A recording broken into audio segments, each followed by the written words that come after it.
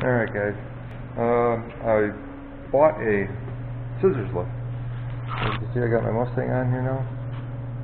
Um, I had it on, but did a, did a little down review here, or running it down review, and the damn recording didn't go.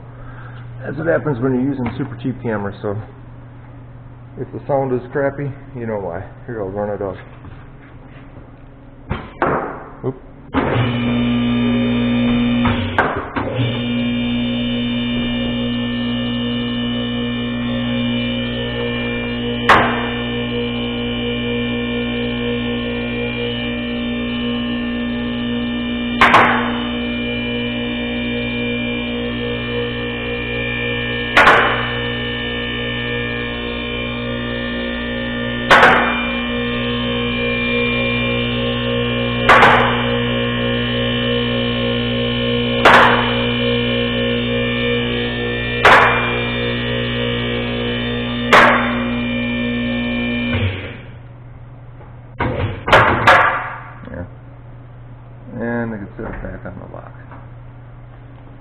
Now with my truck, I got this thing, I turned the timer up so that it runs up a little longer when it goes down, because that's so heavy that when you try and lift, try and go down, it won't go up far enough before it will release the locks. So, when I do something lighter like this, sometimes it'll deadhead the pump for a second, but uh, it seems alright. Um, yeah, otherwise, uh, I really like this thing. I tell you what, it has saved me from crawling underneath this car a billion freaking times. I love it. I mean, they could be, honestly, in my opinion, they could almost be a little narrower, where you just can drive over them. But yeah, that might make them a little less stable. Then you'd have just a little bit more access on the sides, but I've only found one occurrence where I needed a little more access on the side, and uh, that's pretty rare. So, one other thing I did is I built myself a, a little bit of a raised um, creeper here. Just threw my creeper on there and it falls right into place. And I can crawl underneath or roll underneath there in and out in like two seconds and not have to kill yourself crawling off the ground every time. So, I like it. Um, it's made by Otto Kato.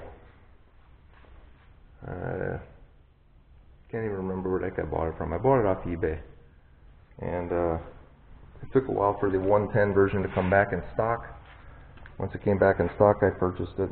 And it came here very quickly. I think I got it within a week. Packaging was, well, questionable, but something this heavy, it's like 1,400 pounds. It's probably going to be a little questionable.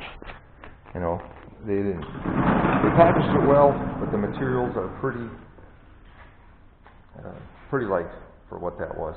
A little heavier, uh, pallet underneath would have been nice, but, yeah, well, it got here, no damage whatsoever. And the one thing I did, I did have one problem with this though, now, mind you, when I put my Explorer up on there, just sitting over there, it's only like a little, uh, 06 Explorer, so it's not super heavy or nothing like that. I got some damage on here. Uh, I, what I did is I only ran it into the first tooth, or maybe the second, I forget what it was. And when I did that, I ran it back onto the lock. Well, when you do that, these arms are such on a severe outward angle, there's a lot of force pulling them apart. What it literally did was bowed this over, and then it, it bent this right here. You can see this is actually, the bearing box here is bent, and you got a little bit of a gap down here. So, my plan is to add some extra bracing in here later on.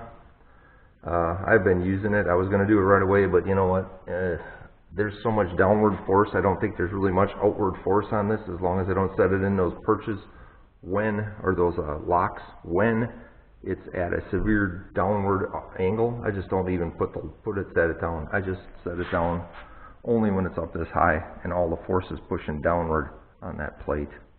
So, for now, it's fine. Waiting for some warmer weather and I'll do some welding. I had a lot of other stuff to do. So, otherwise, guys, this thing, I like it. For a garage, I wish I would have built this garage another foot and a half taller, and I would've had a regular lift, but we just built this garage. And yeah, money's money.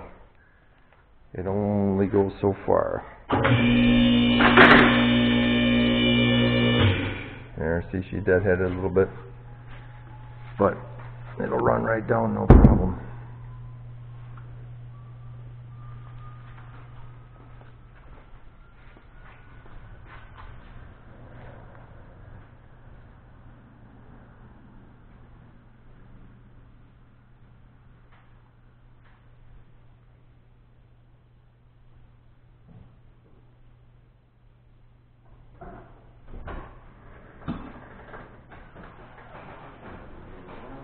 There you go.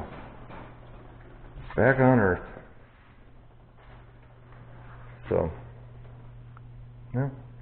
Hope you like it, guys. Good luck if you buy one. I like